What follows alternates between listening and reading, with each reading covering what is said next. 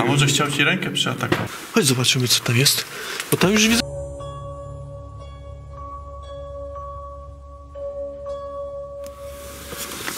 To zakończyliśmy wyprawę do jaskini. Udało się znaleźć, ale trzeba się piwka napić. Edi piwko, ja herbata z No, termosu. ty nie możesz, ja mogę. Siedzę za kółkiem. Dobra, a teraz nagrywamy dru drugi odcinek. Siemaneczko. Witajcie. Dzisiaj planujemy zobaczyć trochę podziemi Krakowa, ale nie dokładnie podziemnego miasta Kraków, tylko y, okolicy. Dowiedziałem się niedawno, że w miejscowości Piekary, niedaleko Tyńca, tylko po drugiej stronie Wisły, y, potoccy wykuli w skale ogromną spiżarnię.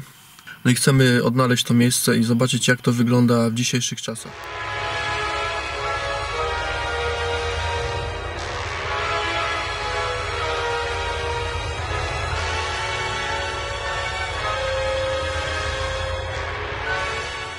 Gruby lód czy cienki? Cienki. No ale z pół centymetra będzie miał.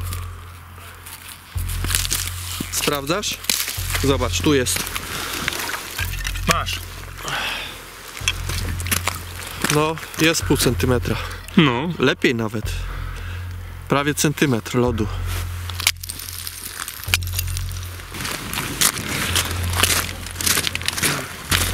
Znajdujemy się teraz Pod traktorem że- w Tyńcu. Myślałem, że jakaś sarna. Pod klasztorem w Tyńcu idziemy wzdłuż Wisły, ale nie po stronie Tyńca, tylko po przeciwnej stronie. Po lewym brzegu Wisły idziemy w tym momencie. O, widzę ludzi na skałce. Ta skałka, którą teraz zoomuję, oderwała się 200 lat temu podczas trzęsienia ziemi w Krakowie. Podobno w Krakowie kilka kamienic zostało doszczętnie zburzonych przez to trzęsienie ziemi. Co trzeba powiedzieć o tej kawernie? Dawno temu w piekarach potoccy mieli swoją siedzibę, zresztą jedną z wielu w Polsce. Główną mieli w Krzeszłowicach. No i żeby składować gdzieś żywność, beczki z piwem, z winem, zwierzynę, którą upolowali w Puszczy Niepołomickiej, składowali właśnie w tej kawernie. Y, Robotnicy i więźniowie wykuli w skale ogromne pomieszczenia. No i tam przez cały rok trzymali sobie picie, jedzonko i się bawili. Zobacz Eddie, typowe, typowy polski krajobraz nad Wisłą. Wierzby poucinane, z których wyrastają młode pędy. Jest kawerna, jest wejście do kawerny. Kawerna ma dwa wejścia, ale jedno jest, znajduje się na terenie prywatnym. My wejdziemy od strony państwowej. To co, Eddie, idziesz pierwszy? Słyszałem, że tam jest bardzo dużo pająków. Boisz się? Zgarniesz pierwszy falę tych najbardziej głodnych, a ja drugą falę zgarnę tych mniej wypuszczonych. No będzie ciężko podejść, bo jest jakiś metr pionu. Widzę, że wyrobione, już tylko śliskie. I widzę już pełno śmieci. Kawerna jest powszechnie znana wszystkim dookoła, więc i sporo ludzi tu przychodzi. Muszę kamerę wyłączyć. Trzy, cztery. O, dobra, jestem na górze. Patrz, już jeden pajączek wisi. Tutaj. Proszę bardzo. W tym miejscu. No. Już na starcie pełno śmieci pod nogami. Pełno puszek Butelki Jakby ktoś chciał, to ma tutaj 2,50. 5 butelek żywca. 50 groszy chyba taka buteleczka dzisiaj, tak? A my się zagłębiamy do kawerny. Na razie jest temperatura zbliżona do tej na zewnątrz. Kolejna warstwa śmieci. I to jaka? Syf straszny. O i widać tutaj wyraźnie, łup, to są chyba krzemienia łupki, te ciemne. Z nich dawno, dawno temu właśnie tworzono siekiery i, i tak dalej. Cała kawerna jest wyposażona w takie właśnie łupki krzemienia. Tutaj ładnie widać warstwę. A jak się taki krzemień... O, patrz ile komarów. Patrz. Obudziły się. Jak taki krzemień się utworzył, to będzie tutaj w opisie, na filmie, w tekście. Zaraz ci pająk, zobacz, Meta Menardi cię ugryzie, wziąłeś go, kurde, poruszyłeś, spokojnie spał. Widzisz? Nie, A może chciał ci rękę przeatakować? nie, tu nie ma pajęczyny. Dobra, wchodzimy w dalszą część kawerny. Przeszliśmy już 50 metrów, a tu dalej śmieci. Pobite, wszystkie bu- butelki pobite.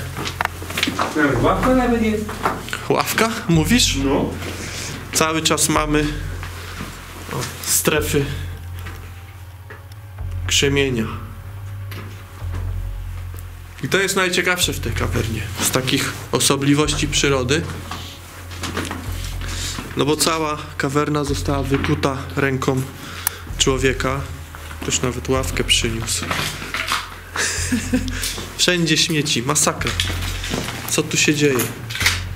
butelki po wódeczce, Pepsi, po chipsach, puszki po piwie.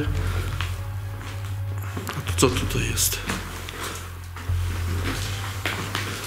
Tam jest, tam jest wejście, którym weszliśmy. Dobra, a my się kierujemy teraz. Tu jest bardzo, bardzo obszerna komora. Tego w kamerze nie widać, ale ona jest bardzo duża naprawdę. Tam Jest Boczny korytarz. Tak, boczny korytarz. Teraz. Ale to jest jakaś komora mała. mniejsza komora. Widocznie być może tutaj była, utrzymywała się dłużej temperatura niższa niż w tych większych komorach i składowano, mogli tutaj składować mięso, ryby. Nawet wino. No, Beczki z winem. wino, wino na pewno składowali. Cała kawerna w łupkach. Ale tutaj w czasach prehistorycznych mieliby z czego narzędzia robić. Kolejny pajączek Metamenardi. Przytulił się, proszę bardzo. Nie ostrzy. O. No, bojowy. Na początku kawerny. Tutaj nie ma już śmieci. Jesteśmy w dalszej, dalszej części. A to co to jest? Deska klozetowa? Tutaj chyba się coś obsypało, oberwało. Widać już korzenie wystające na suficie. E, tu jest koniec. Coś się obsypało tutaj, zobacz. Ale nie, tu jakby jest koniec.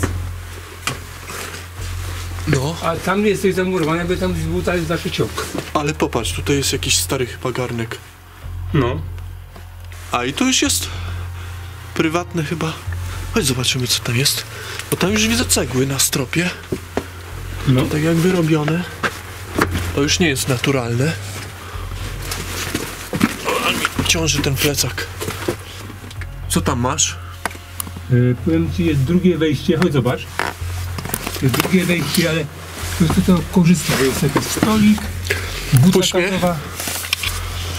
Zobacz. Nawet, nawet, nawet prąd jest. Faktycznie. Jest jakieś drugie wejście. Butla gazowa, stolik, dywan. A to pewnie bezdomni tutaj siedzą, wiesz? Może. My- Żarówka jest. Świecidełka jakieś kolorowe na choinkę, tylko się w tej chwili nie świecą.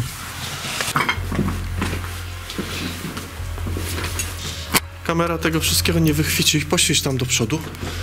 O, widać jak daleko jest. 40 metrów. Albo lepiej. Nie, 40 metrów będzie miała. 30, 40 długości. No i strop jakieś dobre 4 metry No. nad ziemią. Jak nie lepiej. Kierujemy się do wyjścia.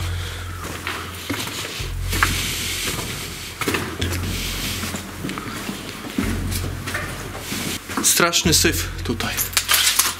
I to było na tyle. Wyszliśmy z kawerny. Powiem Ci, Edi, że jestem taki niemile zaskoczony, bo strasznie dużo śmieci. No, syf taki. Nieprzyjemny zapach. No, słuchaj, ludziom brak kultury. Weszli, zrobili sobie imprezkę, popijały,